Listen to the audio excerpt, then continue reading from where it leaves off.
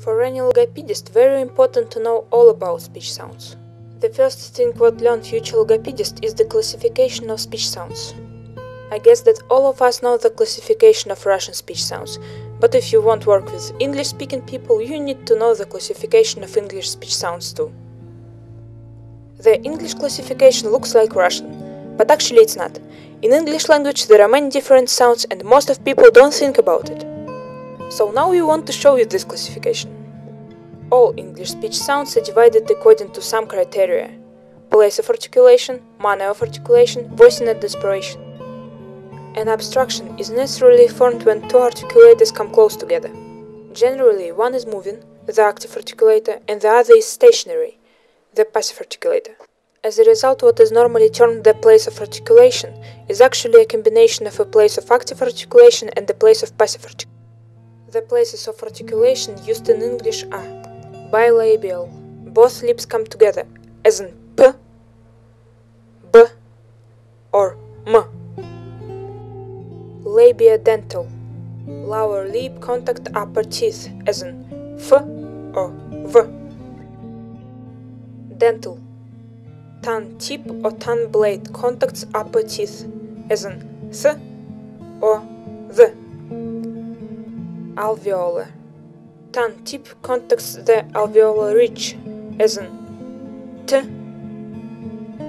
d, n, or l. Or tongue blade contacts the alveolar ridge, as in s or z. Postalveolar. Tongue blade contacts the postalveolar region behind the alveolar ridge, as in J. Palatal.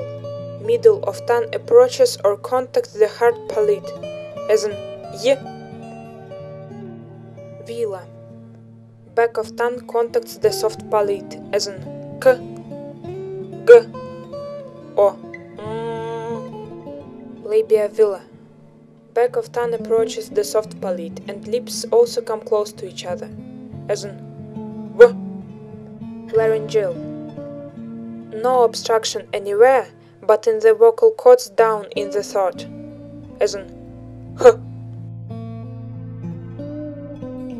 Manner of articulation refers in general to characteristics of the speech organs other than the location or the obstruction. There are multiple parameters involved here and different types of each. The manners of articulation used in English are Stop. Complete blockage followed by sudden release, as in d, g. Fricative, incomplete blockage but still close enough to cause significant airflow turbulence, as in f, s, th, v, z, th. Affricate, complete blockage followed by a gradual release, resulting in a combination of stop and fricative, as in ch, j. Approximant, incomplete blockage and far enough apart that airflow is smooth, as in er, y, w, h. Nasal, complete blockage of air out the mouth, but air can freely flow out the nose, as in m, n, mm. Lateral, complete blockage of air by the center of the tongue, but air can flow out the sides of the tongue, as in o. Voicing, how closely the vocal cords are placed together. In English there are only two possibilities, voiced and unvoiced. A voiced sound is produced with vibration of the adducted vocal folds in the larynx, as in b, d, g, m, n, etc.